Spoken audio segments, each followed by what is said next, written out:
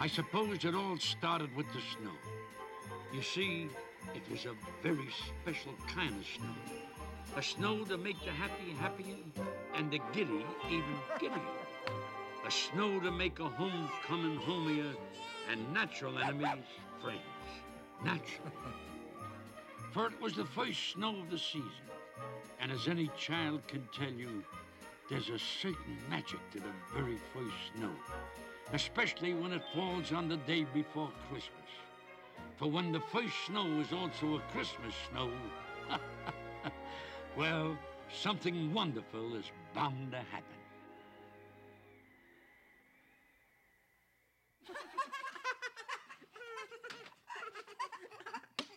Children, back to your seats. The snow can wait. Now, now. I've hired Professor Hinkle, the magician, to entertain at today's class Christmas party. So pay attention. Now, Professor Hinkle was just about the worst magician in the world.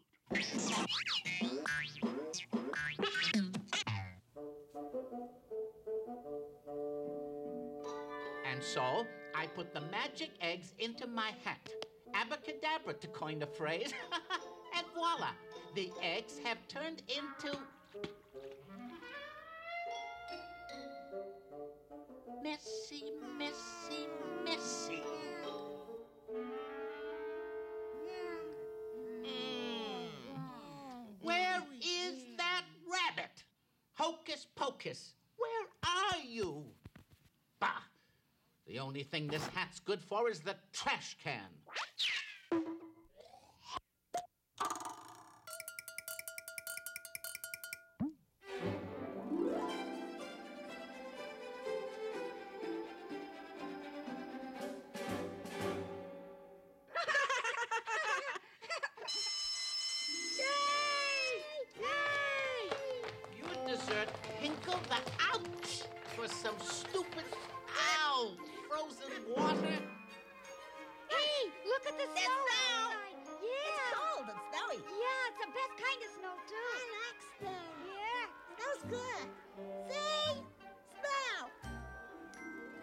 Building a snowman, Karen. You make the head. The head is the most difficult part. Ask anyone. What'll we call him? Yeah, shall we call him Harold? Uh, Bruce? Nah. Christopher Columbus.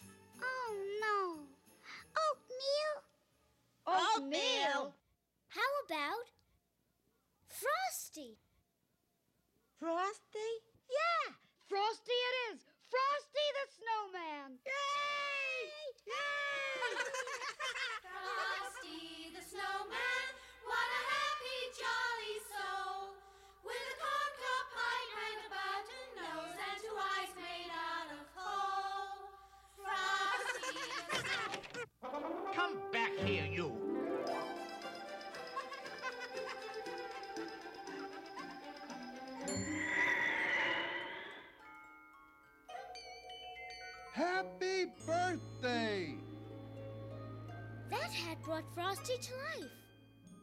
It must be magic. Magic? My hat magic? Just look. If that hat is magic, I want it back. But it's not yours anymore. You threw it away. Don't talk back to your elders, you you naughty, naughty little girl. And you stay in there, or there'll be no carrots for Christmas. But you can't take that hat back. It brought Frosty to life. You saw it happen. I saw nothing of the kind. Quiet.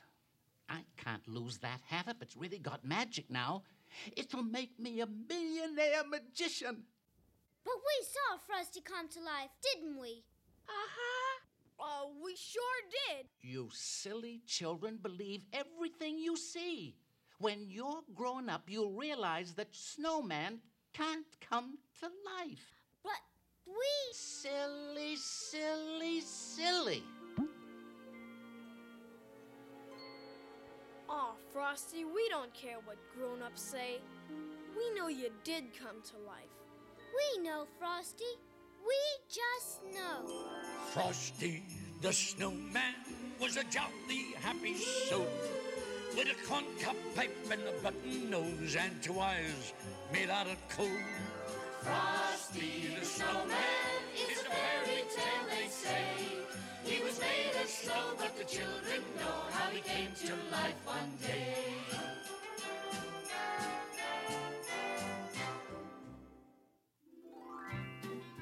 Now, of course, the hat did belong to Frosty and the children. That point must be made very clear. Therefore, Hocus Pocus was entirely in the right in what he was about to do.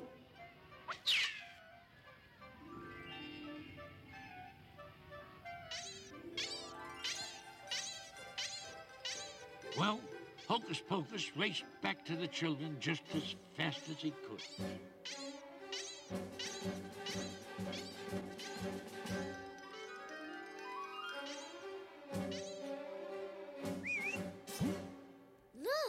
the hat's back. Let's see if it'll make Frosty alive again.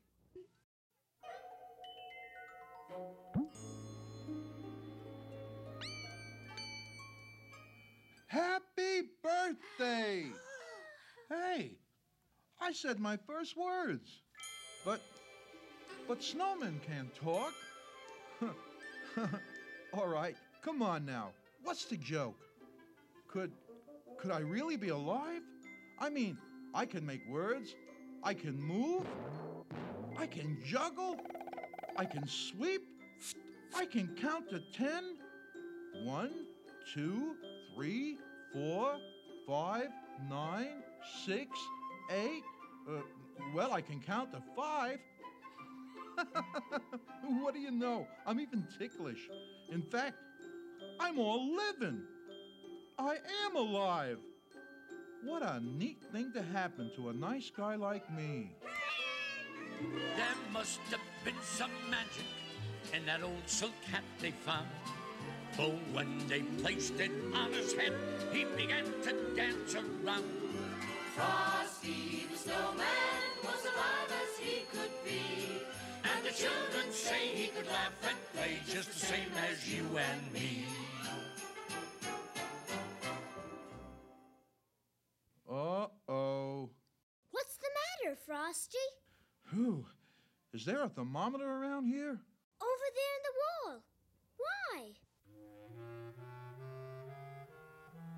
Oh, I was afraid of that. The thermometer's getting red. I hate red thermometers. Why, Frosty? Because when the thermometer gets all reddish, the temperature goes up. And when the temperature goes up, I start to melt. And when I start to melt, I get all wishy washy. Then you've got to go someplace where you'll never melt. The only place I'd never melt is the North Pole. Then we've got to get you there. Yeah, we'll take you downtown to the railroad station and put you on a train. Great! I always wanted to see the town. Let's make a party out of it. Let's have a parade.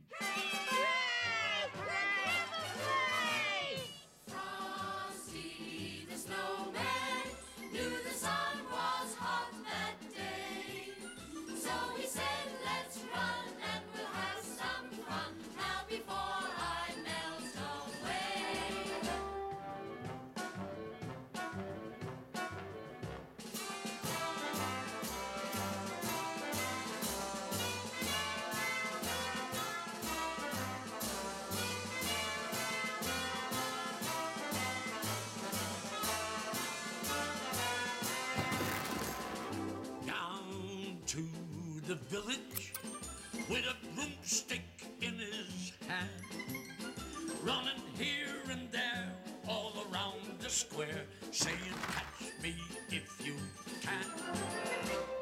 Come on, kids. Follow the leader.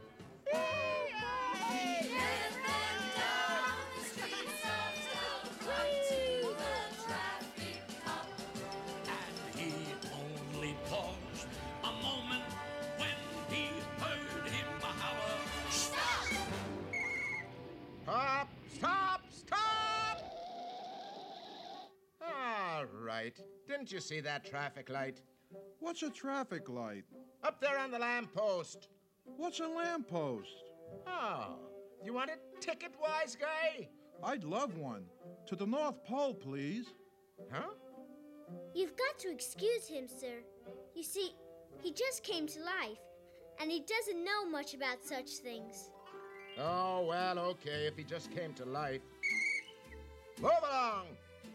That silly snowman. Once they come to life, they don't know nothing. Come to life? Mm-hmm.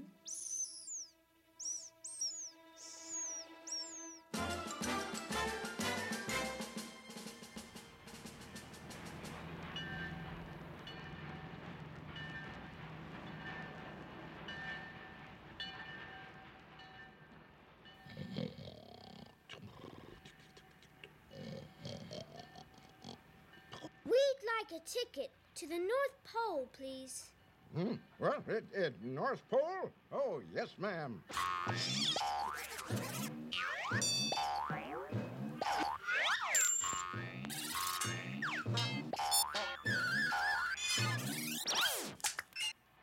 Route you by the way of Saskatchewan, Hudson Bay, Nome, Alaska, the Klondike, and Aurora Borealis.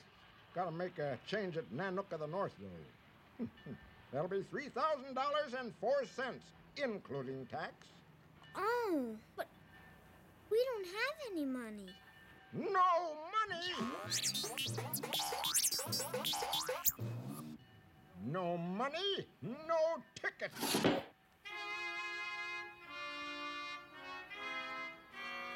Now I'll never get to the North Pole. Oh, Frosty, you just can't melt. Oh, Karen, don't you get all slushy, too. What is it, Hocus? Out the window? A refrigerated boxcar on a train headed north. You'll be safe there, Frosty. Come on.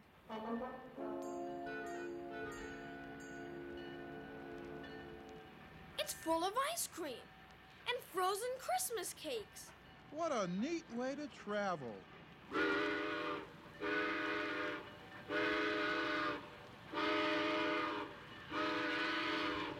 Hurry up, Frosty. The train is pulling out.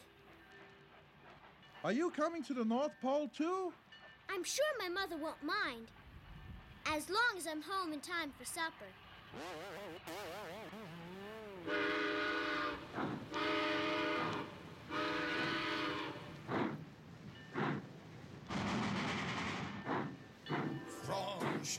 The snowman had a hurry on his way. But he waved goodbye, saying, Don't cry, I'll be back again someday. I must get that hat back. Think nasty. Think nasty. Think nasty. We'll be back again someday.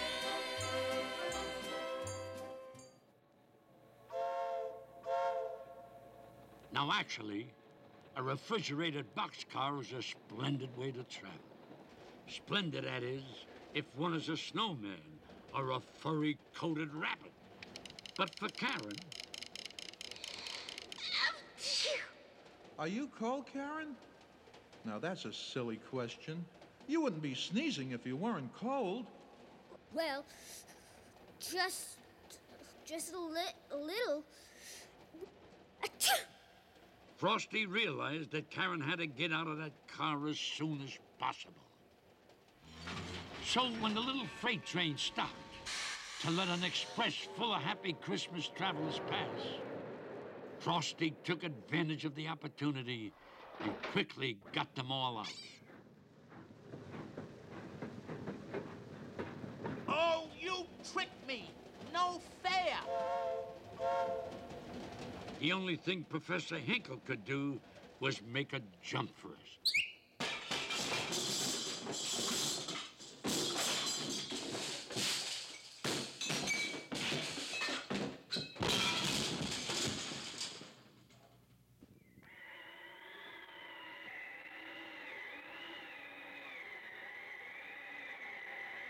Frosty wanted to get as far away as he could before Hinkle woke up.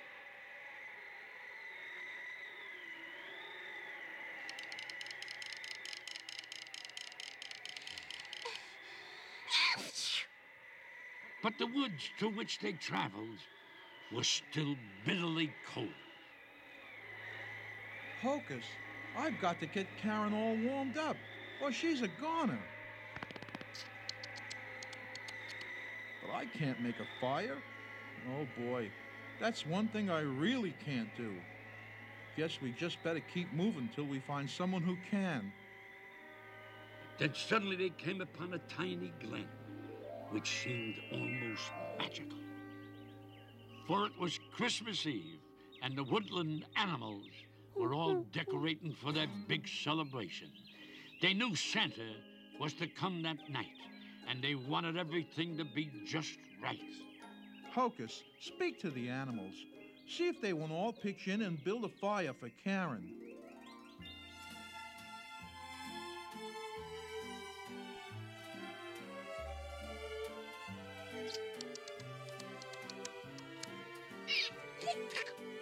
Animals were delighted to help. So they found a spot away from the glen where the fire wouldn't catch onto the tree. Soon there was a spark, and in almost no time, a splendid fire was crackling away.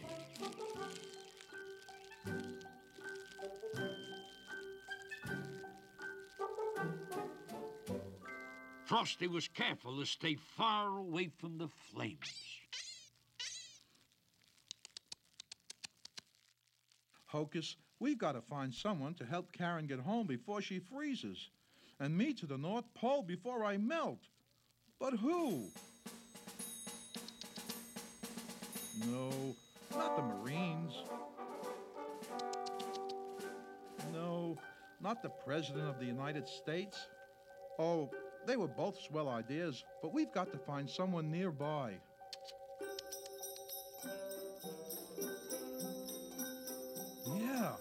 Santa Claus.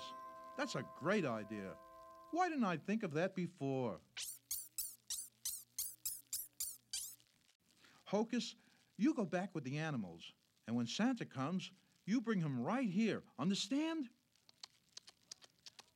Hurry now!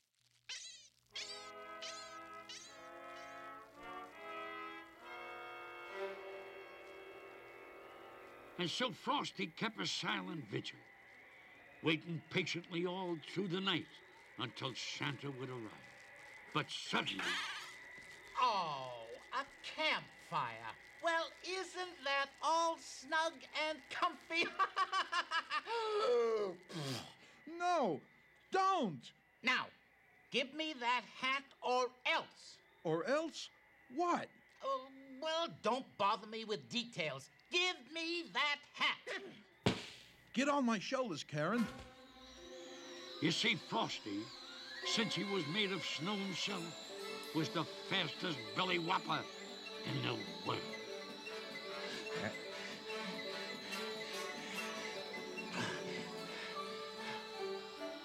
And old Professor Hinkle was soon far out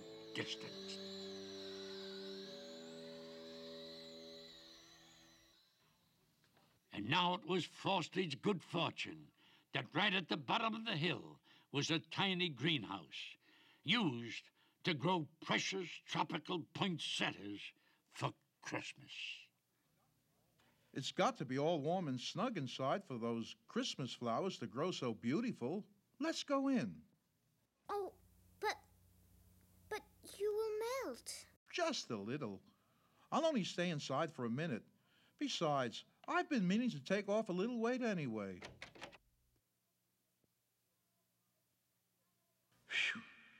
Staying here much longer, and I'll really make a splash in the world.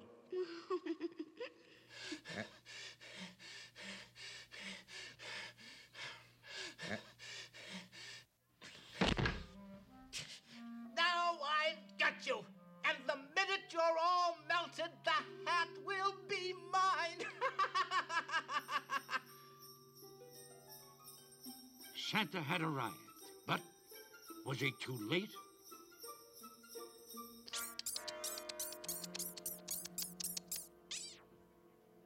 Hocus explained the situation to Santa, who, as you know, speaks a fluent rabbit. And When they didn't find Frosty and Karen on the hill, Santa followed Frosty's pad in the snow to the greenhouse. But when they got inside, a terrible sight met their eyes.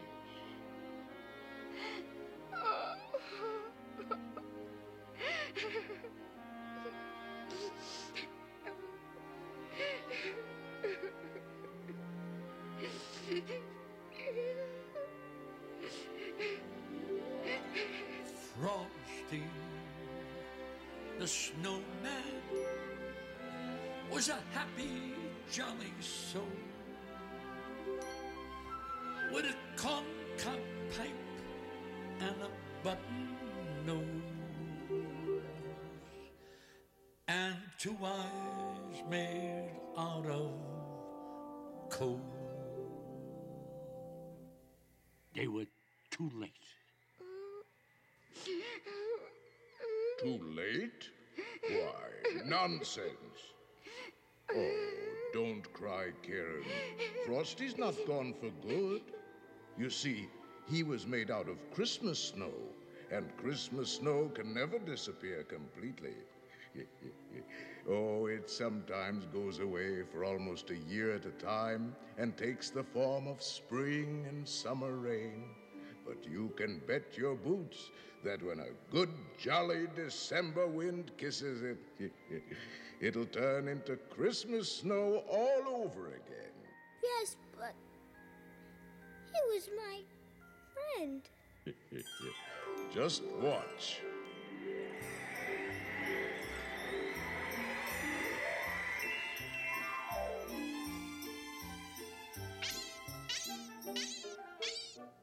Wait a minute. I want that hat, and I want it now. Don't you dare touch that. And just what are you going to do about it? If you so much as lay a finger on the brim, I'll never bring you another Christmas present as long as you live. Never? Never. No more trick cards or magic balls or. No more anything. Oh, that's not fair. I mean, we evil magicians have to make a living too. Now you go home and write, I am very sorry for what I did to Frosty a hundred zillion times. And then maybe, just maybe, mind you, you'll find something in your stocking tomorrow morning. Uh, a new hat, maybe? Oh, yes, sir. Goodbye, everyone. Sorry to lose and run, but I've got to get busy writing. Busy, busy, busy. Come on, Frosty. We're all waiting for you. Happy birthday! Frosty the Snowman is a fairy tale, they say. He was made of snow, but the children know how he came to life one day. And so Santa took Karen home and made ready to bring Frosty back to the North Pole with him. Oh. Karen hated to say goodbye to Frosty, but as Santa promised, Frosty returned every year with the magical Christmas snow. And every year there was a great celebration with a big Christmas parade. Thumpity thump thump, thumpity thump thump, Look at that Frosty go over the hills of snow. Frosty the snowman was a jolly, happy soul with a corncob pipe and a button nose and two eyes made out of coal. And with Frosty the snowman, Christmas was always very merry indeed. You have a Merry Christmas